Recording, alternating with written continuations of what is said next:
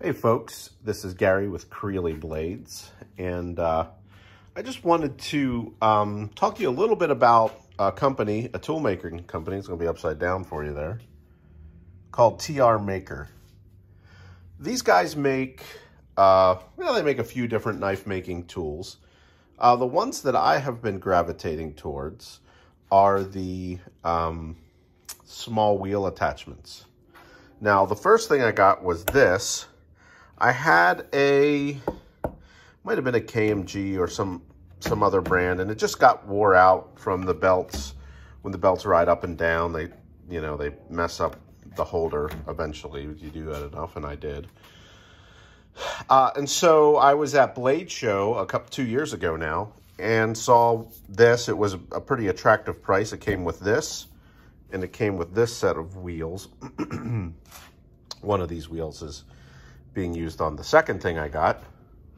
Then, not too long ago, maybe a week or two ago, I got this other set of wheels, and these are the rubber ones. There's That's the one that's there. The rubber ones. And then some of these really small, like this guy is probably close to a quarter inch. It's metric, I think, so might not line up exactly. So I got those in just recently uh, I got these, uh, this little setup. And uh, I've been wanting one of these for a while. I have some axes here. And I have a difficult time getting to one particular part of the axe, which is right here. But now, I can get that done. So, uh, but there, there are other, there are other uses for this. I'm a little curious with the sandpaper running on these wheels, how long these will last until they get to be smaller wheels.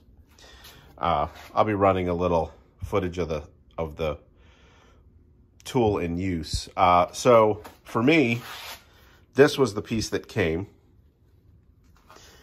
And then I always keep, I always have a couple of these around bars this one, I believe, is inch. This is a, a steam grinder. It uses inch and a quarter. My other grinder uses inch and a half. But anyway, uh, I always keep some of these around. I just drilled the two holes. It came with these bolts to bolt it in.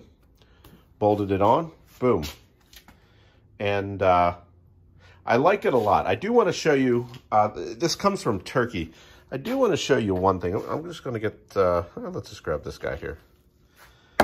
This is, let's, let's use a cleaner one. Let's use a cleaner one, one I haven't used yet. There we go. This is the piece.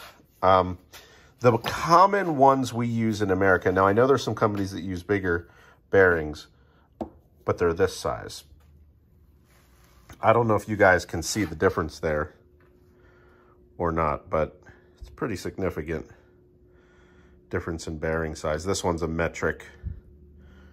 Uh, I can't see that it has a size on it, but Long and short of that just means less wear, less wear on your bearings for the same amount of use. Um, so I like that about them. Um, I don't exactly remember all the price. I want to say this guy alone was something in the neighborhood of, don't hold me to it, 130. I think this guy with all this stuff was around 130. And I think this and this was around 150, give or take. Those prices are fluctuating these days. But I just didn't see a lot of reviews on this, and I've been pleased with these. Here, I'll turn this on for you.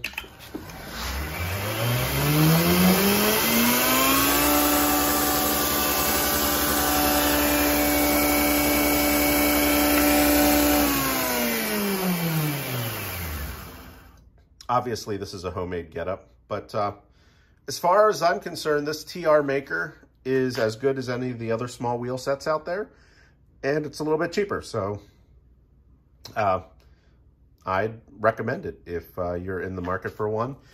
The one thing that's crazy is that it's coming from Turkey.